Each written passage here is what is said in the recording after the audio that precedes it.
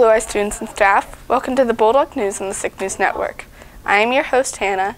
Today is Friday the 24th. Now on to your weather. Hi, welcome to weather. Today we have highs in 82s and lows of 54. It will be partly cloudy. Looking at the weather, weekend, we'll have highs in the 80s and lows in the 60s and sunny skies. Moving on to next week, the temperature will, be, will remain the same. However, we will have partly cloudy skies on Tuesday and it will be mostly sunny for the rest of the week.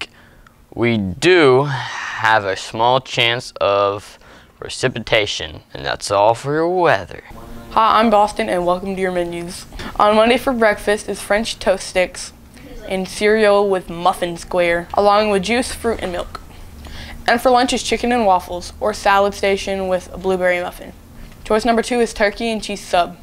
Sides include cinnamon apples, broccoli, fruit, and milk. That's all for your menus.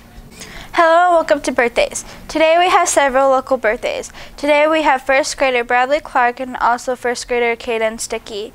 Also more birthdays today, eighth grader P Haley Pavelka and fifth grader Nathan Spickelmeyer.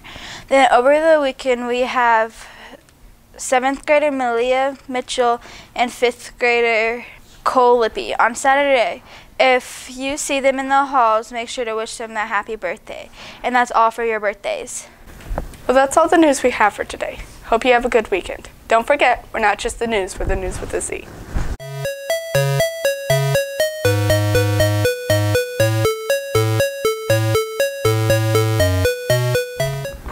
Did you know that tornadoes used to be called twirl blasts and twirlwinds in the 18th century?